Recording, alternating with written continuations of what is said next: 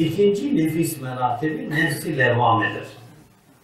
Levvame Kıyamet suresi ayet 2.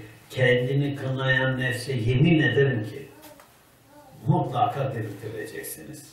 Ayette geçen kendini kınayan diye tercüme edilen, mana verilen levvame kelimesinden alınmıştır.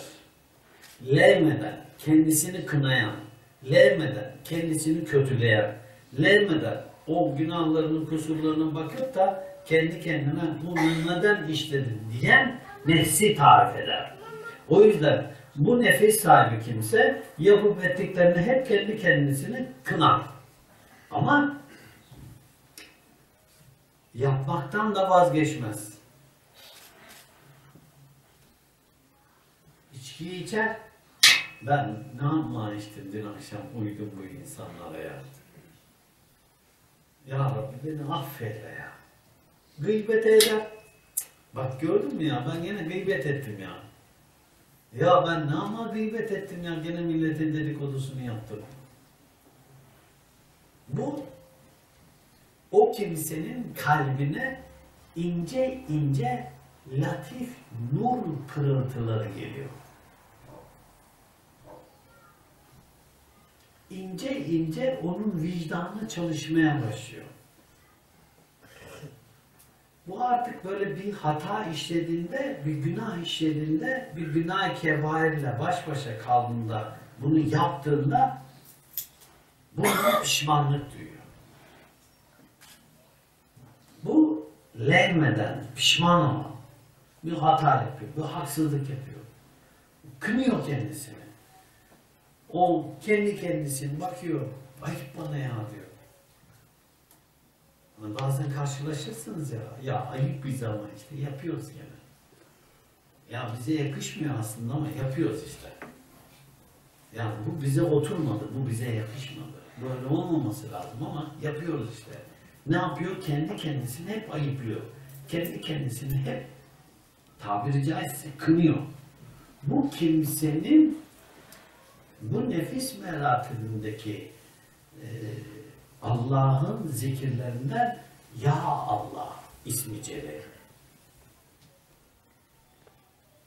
O devamlı kendisini ne yapıyor? Kınıyor. Bu La ilahe illallah tevhide mana verirken de La maksude illallah olarak mana verecek. Önce La ilahe illallah'tı. Allah'tan başka ilah yoktu. Onu çekiyordu. Vereceğim mana da Allah'tan başka ilah yoktu. Artık o Allah ismi şerefini söylerken tevhidde mana itibariyle La maksude illallah. Yani benim maksudum Allah. Benim maksudum Allah'tan başka bir şey değil. Mana verirken bu manayı verecek. Ama bunun normalde ismi şerifi Ya Allah'tır. Levhamenin ismi şerifi. Nefsi mülhüme gelir. Bu kimse pişman oldu. Pişmanlıklarından artık günahlardan sıyrılmaya başladı. Günah işlememeye, bile bile büyük günah kebair işlememeye başladı. Bu kimse artık önceden bir namaz kılıyor, aradan namazı kaçırıyordu. Es geçiyordu. Namazı es geçtiği için ya ben yine namazı bu ara bak kılmadım bugün diyordu. İşte akşamın hepsini birden kılarım. Akşam da kılmıyor. Ertesi gün bir bakıyor namaz kılıyor. Bir gidin üçüncü gün, üç gün namaza devam ediyor. Dördüncü gün yine bırakıyor o kimse namazı.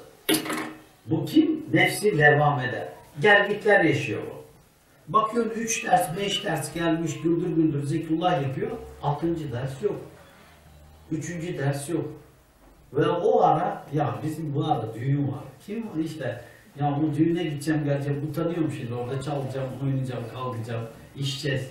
Ya hocam yanlış anlama, biz de şimdi orada içmeyince de olmuyor. O yüzden utancımdan gelmiyorum ya. Veya gittik orada ben içirdiler beni. Onlar gelirler söylerler bana. Ben dedim ki kardeş ne günah işledi sen işlemedin. Gel. Allah gafur rahim de tövbe. Devam et işine yoluna. Bu, bu levhamedeki hali.